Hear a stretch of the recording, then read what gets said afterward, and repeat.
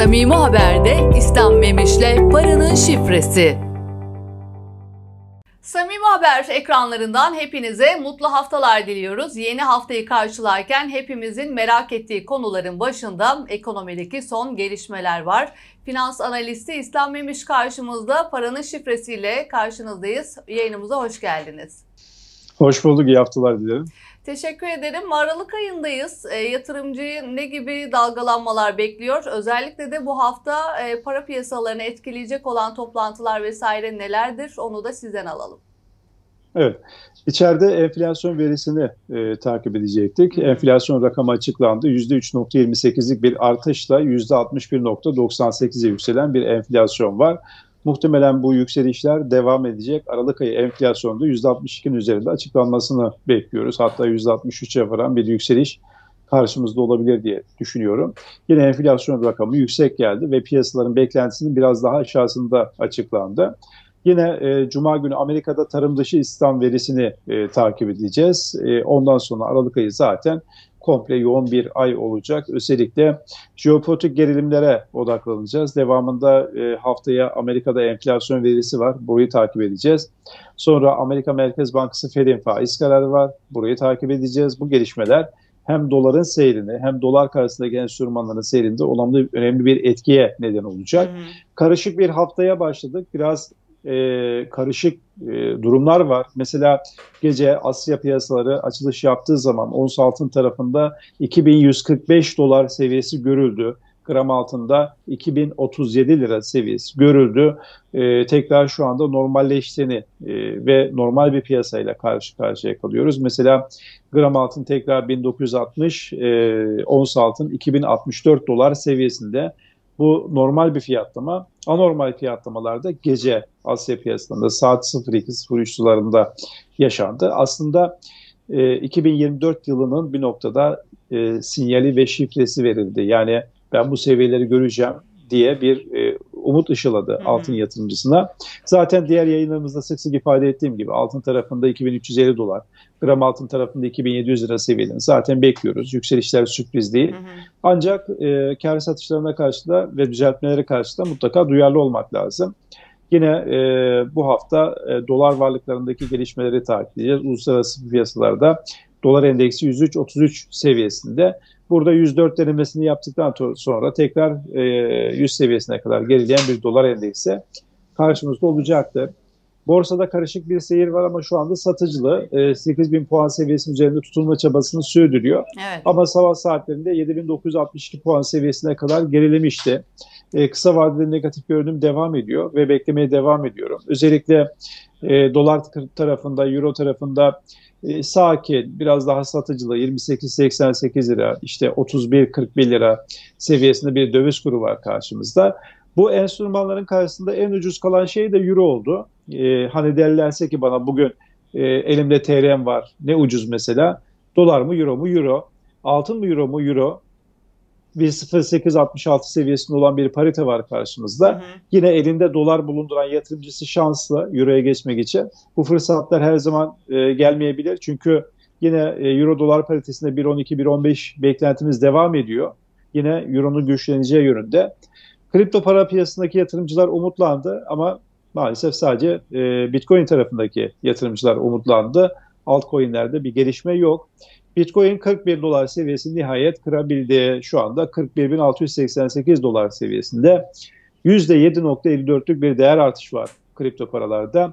Yılın son ayında burada da e, bekleyenleri biraz daha rahatlatan bir gelişme olduğunu söyleyebiliriz. Ama deseniz ki altcoin'lerde o varlıkların %80'ini kaybeden yatırımcılarda hı hı. bir umut ışığı var mı? E, kar ettiler mi falan vesaire yok. Sadece Bitcoin'de bu yükselişi gördük. Yine petrol fiyatlarındaki düşüşler dikkat çekici 78 dolar seviyesinde %1.30'luk değer kaybı var. Buradan çıkan sonuç şu, OPEC üyelerinin toplantısı vardı malum. OPEC üyeleri bu savaş devam ederse dünyaya arz tarafında bir e, uygulamaya gidebiliriz diye e, bir açıklama yaptı. Hı hı. Herhangi bir ülke zikretmedi. Dünyaya dedi. Yani bütün dünyayı etkileyecek bir petrol fiyatlarından. Benim. Evet. Burada tabii ki böyle bir şey bu senaryo veya bu söyledikleri şey gerçekleşirse Enflasyon tekrar geri gelme olasılığı çok yüksek. Hı hı. E, ulaşım maliyetlerinin artması, bütün gıda fiyatlarında bunun hissedilmesi, tarım tarafında, çiftçilik tarafında bunun ciddi anlamda hissedilmesi kaçınılmaz olacaktır. O yüzden e, hazır böyle bir jeopolitik gerilim varken ortada Hı hı. bunu da fırsata çeviriyor OPEC üyeleri. Yine gözümüz Rusya-Ukrayna tarafındaki gelişmelerde.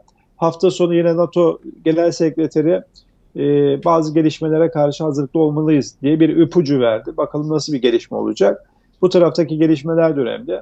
Yine e, bugün e, bir İstanbul'da hissedilen bir artçı deprem 5.1 olarak açıklandı. Hı hı. Bu tarafta insanlar tekrar e, gündemi unuttu. E, acaba tekrar mı deprem geliyor? Kaygılarını gündeme getirdi. Evet. Yine bu hafta e, deprem yasasıyla alakalı süreçleri, açıklamaları yakından takip ediyor olacağız.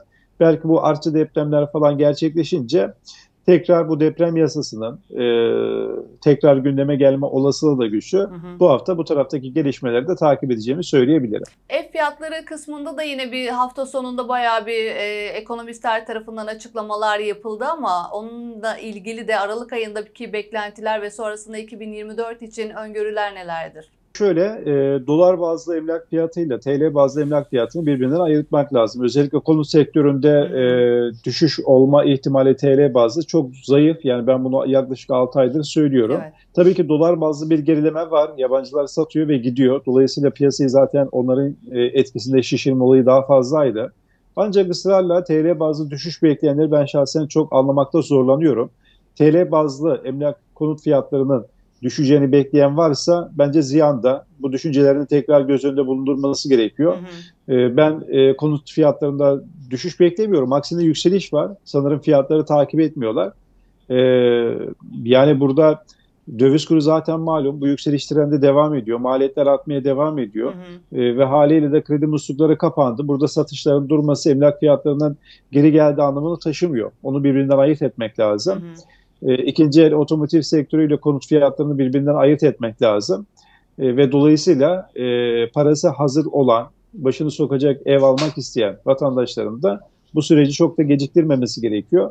Çünkü dolar bazlı fiyatla TL bazlı fiyatı birbirinden ayırt etmek lazım. Zaten dolar bazlı fiyatların gerileyeceğini yaklaşık 6 aydır ifade ediyoruz. Burada bir sürpriz yok. E, ancak TL bazlı fiyatların gerileme olasılığı benim nazarımda yok. Aksine bu yükselişlerin ben devam edeceğini düşünüyorum. Yine kira fiyatlarında da düşüş beklentim yok. Aksine yükseliş yönünde bir beklentim var. Evet. Dolayısıyla ev almak isteyenler e, bence çok da gecikmemeli. Ee, az önce bahsettik yani depremden dolayı. Depremle ilgili Evet. ilk kez ev alacaklar için bir takım çalışmalar vardı. Onunla ilgili kulislerden gelen bilgi var mı sana? Yani bu e, yerel seçimlere yaklaşan bir süreci bekliyorlar. Ocak ayı itibariyle yani 2024 yılı itibariyle Hı hı. bunun e, akışını sağlanacağı ifade ediliyor. E, ama dediğim gibi 1.20 oranındaki faiz oranıyla e, ilk kez ev alacaklara böyle bir kampanyanın sunulması farklı bir şey. Hı hı. E, maliyet noktasına baktığımız zaman da özellikle hangi tür evler, taksitler ne kadar olacak kısmı tartışmalı. Hı hı.